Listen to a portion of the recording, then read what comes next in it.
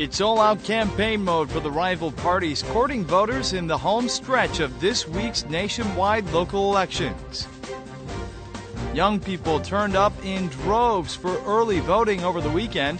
What will this mean for the outcome? And representatives from eight countries held a rally in Tokyo urging the Japanese government to settle the issue of conscripted sex slaves in World War II. Hello and welcome to News Today on KBS World. It's Monday, June 2nd. I'm Luke Clary. Rival parties were in all out campaign mode over the weekend, canvassing battleground areas ahead of Wednesday's nationwide local elections. On the trail, Seoul mayoral candidates Chung Mong Joon and Park Won Soon clashed over school meals. Rival camps focused their efforts on campaigning over the weekend heading into Wednesday's local elections. The ruling Saenuri Party's Seoul mayoral candidate Chung Mong-joon and his rival Park Won-soon of the main opposition New Politics Alliance for Democracy went head-to-head once again over the issue of agrochemicals found in school lunches. Chung said that Park, as the incumbent mayor, was aware that pesticide substances had been found in ingredients supplied by an eco-friendly distribution center run by the Seoul city, but he failed to address the issue. 12월에서 5월까지 보고서의 내용을 알고 있으면서도 서울 경기의 100만 학생들에게 농약 성분이 섞인 식재료로 만든 급식을 계속했다는 사실입니다. In response, Park countered that Seoul's school meal system is safer than that of any other region in the country and called upon Chung to stop his negative campaigning. 지극히 미미한 부분을 과장하면서 우리 아이들의 밥상을 이용하는 데 대해 깊은 유감을 표합니다. Rival camp leaders also campaigned heatedly in Incheon City. Saenuri Party leadership urged support for their Incheon mayoral candidate Yu Jung-bok. They stressed that Incheon and the central government must establish solid ties for the Incheon Asian Games to be successful. Leaders of the opposition NPAD also wooed support for their candidate Song Young-gil, saying he's the right man for the job of reducing the city's debt and leading the Asian Games to success.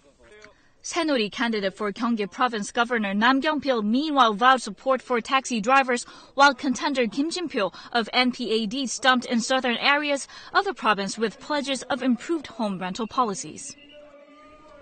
Young people in their 20s showed up in force at polling stations on Friday and Saturday for advanced voting.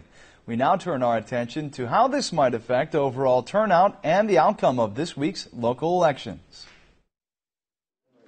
Advance voting was introduced this Friday and Saturday for the first time in a national election.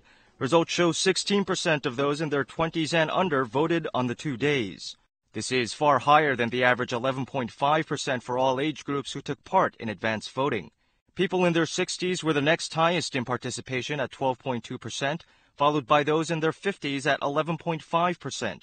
But turnout was relatively lower among 30 and 40 something voters at 9.4 and 10% respectively.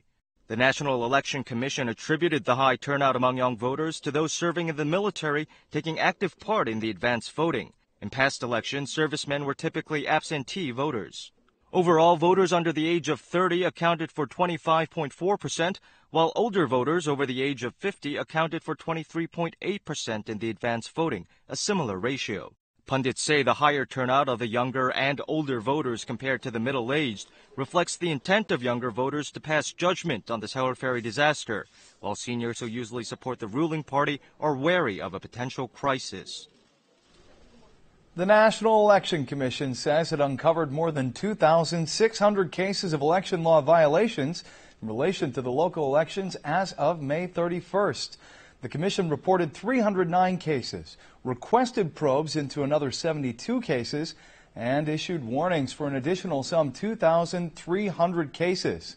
Now, this may sound high, but this time the number of irregularities is actually down 25% from the number recorded during the 2010 local elections, when it surpassed 3,500 during the same period. The National Election Commission has decided to step up its crackdown on illegal election activities such as slander, false rumors, and bribery, which are more likely to take place ahead of the official date of the local elections.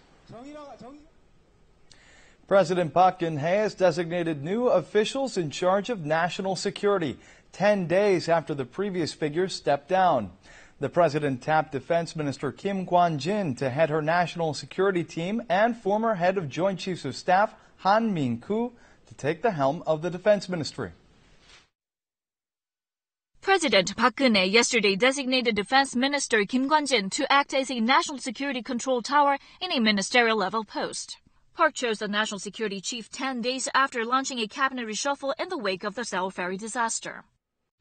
4년여간 국방부 장관으로 국방을 책임져 왔고 국가안전보장회의와 외교안보 장관회의의 구성원으로 안보와 외교, 통일 분야 정책 결정에 참여해온 경험을 바탕으로 국가안보실장의 직무를 충실히 수행해 나아갈 것으로 기대합니다. Kim Kwan-jin graduated from the Korea Military Academy and served as chairman of the Joint Chiefs of Staff before he took the post of defense minister in December 2010. The president first announced her choice for the top vacant national security posts among two security-related positions that were waiting to be filled because the security situation surrounding the Korean peninsula has been changing rapidly lately, for example, with the recent agreement between North Korea and Japan. Park chose former head of the Joint Chief of Staff Han Min-koo as defense minister. Han graduated from the Korean Military Academy and served as Capital Defense Commander, Army Chief of Staff, and Chairman of the Joint Chief of Staff. He is also a grandson of famous independence fighter Han Bong-soo. Chung Won-ri announced that it nominated Han at the recommendation of incumbent Prime Minister Chung Hong-won as the new Prime Minister designate has resigned. The announcement further explained that Kim Kwan-jin will perform his duties as both Defense Minister and National Security Chief until the new Defense Minister is officially appointed. The presidential office says it will announce its choice for the post of National Intelligence Service Chief soon after it completes its review of the candidacies. Search efforts for the remaining victims of the ill-fated Sewol ferry have stalled for nine days due to unfavorable weather conditions and the death of a civilian diver involved in the search. The shutdown will likely continue until Wednesday as desperate families await the resumption of operations and recovery of their loved ones. Weather conditions have worsened at the accident site in the waters off Jindo Island, although the period of the strongest currents is over. Barges and smaller ships deployed to aid the search retreated to nearby harbors and ports as stormy seas were forecast for the site until Wednesday. This is the first time the two barges have been withdrawn from the site simultaneously. 3일 정도는 수색이 중단될 것으로 예상되며 기상 여건에 따라 대응 함정도 피항을 검토토록 하겠습니다. The cutting of the sunken ship's stern has been brought to a halt by the death of a civilian diver during search efforts last week. A 4.8 meter by 50 centimeter section has already been cut off and only parts of the window frames remain. Authorities in charge of the disaster management plan to resume the cutting as soon as the weather clears and attempt to enter the fourth floor sternside rooms where the missing victims are most likely to be. However, finding a way to safely and quickly complete the cutting will be crucial to the search efforts given the fluctuating weather at the accident site. 다이버가 물속에 들어가 있는 그 시간 자체가 위의 환경에 노출되는 시간이 길어지면 안 되겠죠. 가장 빨리 어떻게든 다이버를 작업을 끝내고 오는 게 좋습니다. Families of the victims who remain missing called on authorities to come up with new ways to find their loved ones during the temporarily halted operations. They also called for measures to ensure the safety of divers involved in the search. For over a week, prosecutors investigating the ferry disaster have made little progress in locating the de facto owner of the Sewol ferry, Yu Byung-un. However, they are questioning three more members of a religious sect believed to be led by Yu for their roles in helping the fugitive businessmen remain at large. Prosecutors are considering seeking more arrest warrants. Eleven members of the religious cult have been arrested already for allegedly helping Yu escape. Investigators are stepping up their efforts to find Yu, who is believed to be hiding out near Suncheon, South Jeolla province. Representatives from eight countries held a rally to urge the Japanese government to settle the issue of its conscription of Asian women as sex slaves for Japanese soldiers during World War II.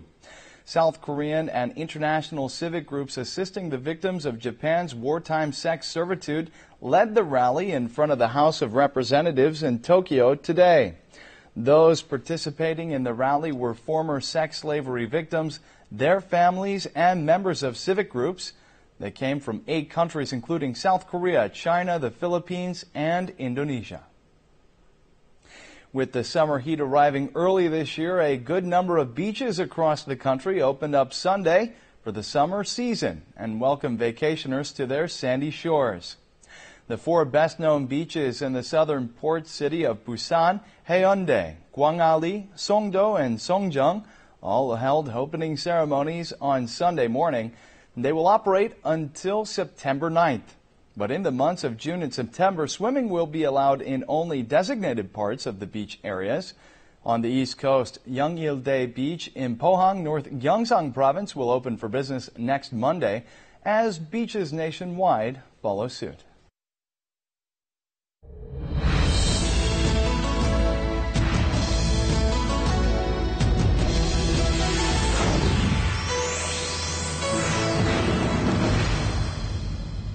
It's up to the couple whether to have an extravagant wedding or a more down to earth affair.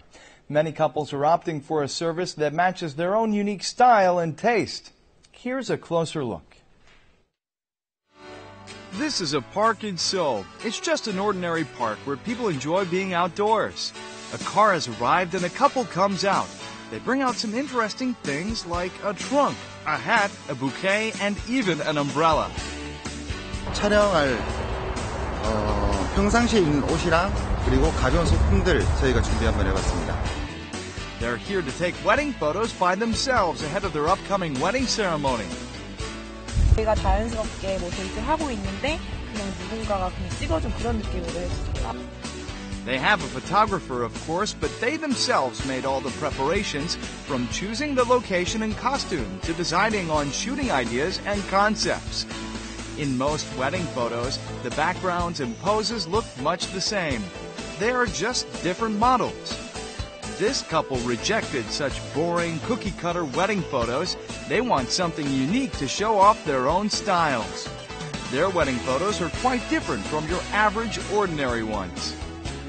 포즈도 뭐 저희가 다 연구해서 시안도 다 짜고 소품도 저희가 다 준비하고 만들어보고 그래서 뭐 기억에도 오래 남은 것 같고 그 만드는 과정도 저희한테는 일종의 데이트처럼 추억도 된 것 같고 네, 만든 소품도 다음에 또 저희 리마인드 하게 되면 또 활용할 수 있을 것 같아가지고 음, 좋은 것 같습니다.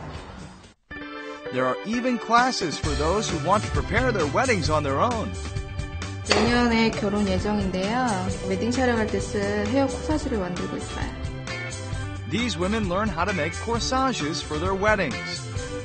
보통 보면 정형화된 업체들에서 똑같은 포즈로 똑같이 다들 준비하시잖아요. 근데 그런 것보다 제가 만든 걸로 사용하고 하려고 하다 보니까 어, 포즈도 하고 분위기도 틀리고 마음에도 너무 들고 좋아요. Understanding how hard it is to prepare a wedding, the women are ready to share with each other everything they know. 공원이나 이런 데는 국가가 운영하는 데는 상관이 없지만 사설기관 같은 경우는 돈을 내야 되는 경우도 있고 들어가지 않는다고 하더라도 기아라던가 밖에 분위기를 다 나서 그 밖에서 찍어도 음, 맞아요 맞아요. They exchange invaluable helpful tips which would not be available anywhere else. 네, 제가 좀 찍어놓은 것들도 보여드리고 같이 정보 나누면서 어, 먼저 경험해본 사람으로서 정보 좀 나누고 더 좋은 촬영할 수 있게 도움드리고 있어요. There's even an app that's just like having a wedding planner on your smartphone. The application helps you make wedding preparations on your own, all the way down to the altar. The app serves as a wedding planner. It offers advice about wedding gowns and hairstyles to help the bride make the best picks. 웨딩 관련 준비하다 보면 여러 가지 알아보는 게 번거로움이 많은데 한 군데서 다 비교해보고 알아볼 수 있으니까 그게 참 편리하고 좋은 것 같아요. The bride and groom visit shops recommended by the app. 이런 스타일을 하고 싶은데 The couple say they're happy to prepare weddings their own way. 기존에 있던 방식대로 하면요. 조금 고를 수 있는 게 한계가 있었는데요. 드레스, 메이크업, 촬영 그리고 여러 가지를 저희가 마음에 드는 거를 고를 수 있어서 어, 되게 개성 있고 좋았어요. They're not interested in your average wedding ceremonies. A KBS team went to a special wedding ceremony last week. From flower decorations to the bride's room, the hall is ready for a wedding. But this site is unique. It's the National Library of Korea. People can use it for their wedding ceremonies on weekends, paying just 55 US dollars in rental fees. But there's a condition attached. 어, 또 도서관 결혼식이 작은 결혼식, 검소한 결혼식 취지로 시작한 거라서 하객도 그런 취지에서 200명이 넘으면은 저희들 신청을 받지 않고 있습니다. The couple exchanged books as a wedding gift to each other. They saved all other wedding related costs and spent the savings on a house. 예산 일물이나 그런 폐물은 양가 부모님들이 이해를 해주셔가지고 저희가 굳이 그렇게 허례허식을 할 필요가 없을 것 같아서 저희가 그것을 생략하고 기본적으로 했습니다. If it were an ordinary wedding, an officiant would be on the altar to preside over the ceremony. But the couple betrayed their guest expectations again, doing it their own way. The parents come up and give their words of congratulations. They wish the newlyweds a happy, love-filled marriage life. 앞편을 생각하면 고맙게 생각해요. 간소하게 한다는 게 그게 보통 마음 먹고 하는 게 아니거든요. 요즘 젊은 사람들 입장으로서는. 근데 우리 애기가 너무 너무 잘 선택한 것 같아요. They had a small but lovely wedding, not an ostentatious show. 많은 분들이 와주셨으니까 행복하게 살겠습니다. Couples opting for practical but special weddings are driving a change in the commercialized wedding industry. Now we'll take a look at the markets, followed by the world weather.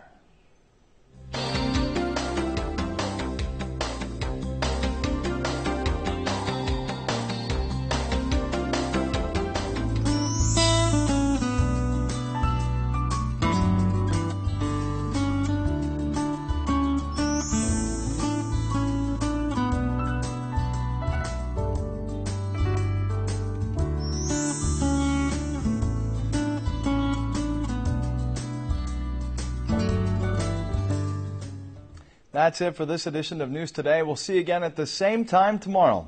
Have a great day.